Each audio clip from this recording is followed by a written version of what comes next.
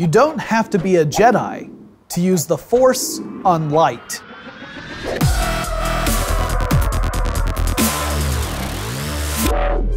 I don't know about you guys, but I was totally blown away by the Star Wars 7 trailer, and there's so much I can geek out about right now, but I'm being told that I need to show at least a modicum of self restraint, so I'll just say, squeeze!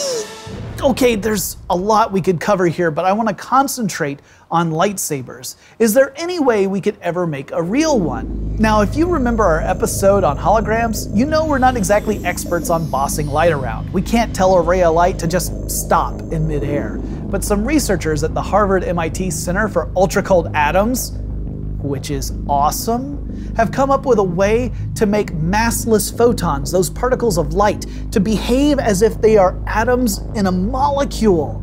Now, this is amazing because photons normally don't interact with each other at all. That's why you can turn on a couple of flashlights and pass the beams through each other without any interference. But the researchers found out that depending upon the medium you use, you can make things a little weird. Now, to start, they took some rubidium atoms in gas form and they supercooled them with a laser. Which is also weird because don't lasers burn things? Alright, let's back off a bit.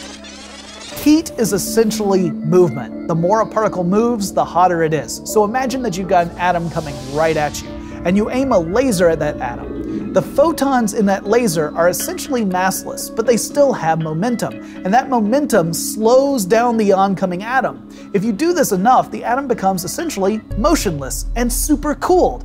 All right, let's go back to those molecular photons. When a photon enters this gas of supercooled rubidium atoms, it transfers some of that momentum, that energy, to an atom. That slows down the photon, which means that light is traveling slower than the speed of light.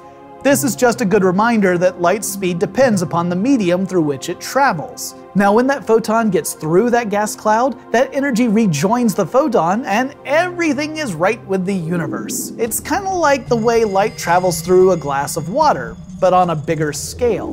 But what happens if two photons enter the cloud? Here's where things get odd in an awesome way. You see, there's this weird effect called the Rydberg blockade, which states that if you excite an atom, you can't excite nearby atoms to that same degree. So when photon 1 enters the cloud and starts to excite rubidium atoms, photon 2 can't do the same thing. There's this push-pull relationship between the two photons. It's, it's kind of like two lightsabers hitting each other, you know, go but it probably doesn't make that cool sound effect.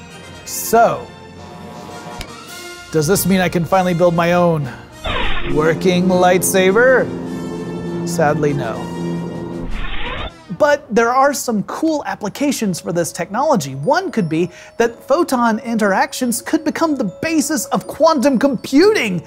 And I think my mind just melted a little bit. But beyond that, lead researcher Mikhail Lukin says we may one day be able to make three-dimensional objects like crystals out of pure light.